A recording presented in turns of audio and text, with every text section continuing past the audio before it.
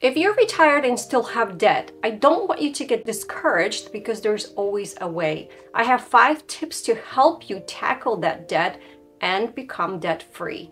So there's two types of debt that we're talking about is lower interest, better debt, or the things like student loans, mortgages, and car loans. Then there's the higher interest debt not so good debt that we really want to tackle as quickly as possible. And those things are like credit card balances and payday loans and other not so good things. So point number one, we are going to tackle the high interest debt first. And here's why a lot of us are thinking that if we're just going to tackle something small, then we're going to get it paid quicker. But I want you to think about the fact that you really should be tackling your high interest debt first. This way you can pay down the interest quickly, pay down the principal quickly, and just get rid of it for once and for good. What we're going to do is start out with the highest balances, the highest interest rates first, and we're going to slowly work on them step by step until there's nothing left. So the goal is to focus on the high interest interest debt first and then make minimal payments on the other balances. Point number two is let's focus on increasing your income. And some of you may be okay with that and some of you may not, but I want you to think positively because this is something you can definitely uh, uh control and focus on the things that you may enjoy doing. Here are some good examples for you. Just try doing something part-time. We're talking about 10 to 20 hours a week so that way you still have time to enjoy your hobbies and other things because you worked so hard for your retirement and you really want to enjoy some time off and we totally understand that. So if you're enjoying some DIYing and you like to tinker with things, then think about getting a job with a home improvement store like Home Depot or Lowe's. If you love a home decor and some other things that you're always checking out on Pinterest and Instagram, well, we have a Marshalls and Home Goods and Home Sense and some other stores what you can enjoy doing those things as well. If you live near attractions and you're interested in some high energy and things always happening and cultural events, then thinking about work for some of the attraction places or like entertainment parks.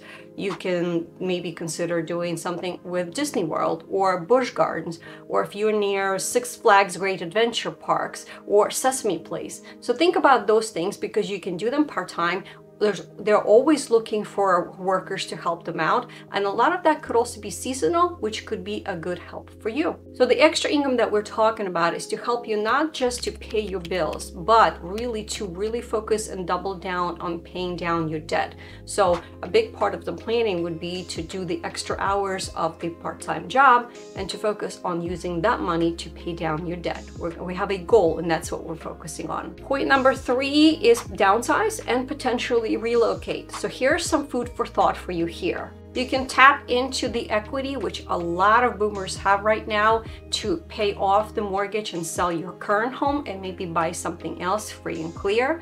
There may be some money left over for you to actually pay down your debt.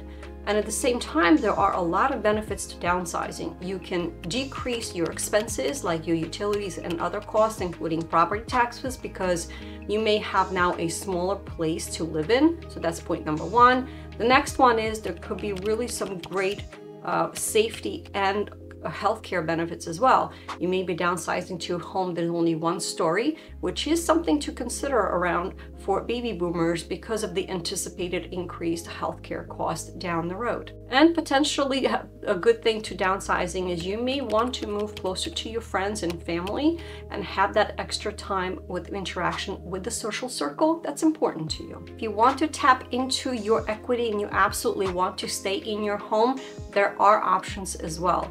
You can potentially do a cash out refinance if you don't have a mortgage perhaps put on a line of credit on your home or having a reverse mortgage can also be a good option for you as long as you're dealing with someone who is reputable and knows what they're doing for this type of mortgage. I do have a recommendation for you and I'm going to put that in the description under this video. Another good option is I just did a video on having boommates if you have extra rooms and you don't want to downsize and your you know your kids already have places of their own why don't you rent the extra rooms and have roommates or boommates? Boommates are someone who is close to your age who is also looking for a place to stay. There are numerous benefits to doing that. These people can help you with paying rent, so there is some income to help you and offset your own expenses for your home. Another good point is they can help you around the house, bring in groceries or go shopping or help you with some house repairs or doing some maintenance or even help you out with uh, doing the lawn care as well as the snow care in the wintertime. So lots of good things. And another bonus is you will have additional social interaction with these people because they all live close by. Point number five has to do with potentially waiting to take social security. And there is different school of thought about whether you wait or maybe you take it during the normal retirement age. So a couple of things for you to consider here. That if you wait, with every year that you wait, your Social Security benefit is going to increase by 8% up until the age of 70. And if you decide that you want to take it earlier because you may need that extra income, the earlier you take it, the less of the benefit you're going to have, but you're going to be able to take it and use it over the longer period of time. And the bonus tip is as retirees, you also have additional perks and, and discounts and things that you can use. You just have to look for them, apply for them, or ask for them. Always take advantage and always ask for a senior discount. Uh, there are also uh, military discounts that are available to veterans.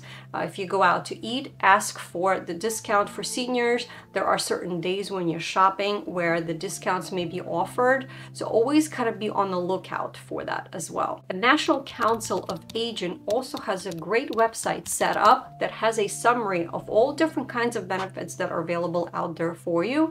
I'm going to link that website for you in the description box so you can check out and see what are some of these great incentives and things that are available near where you live. So what strategies have you used to help yourself get out of debt or already be debt free or maybe you have a plan right now?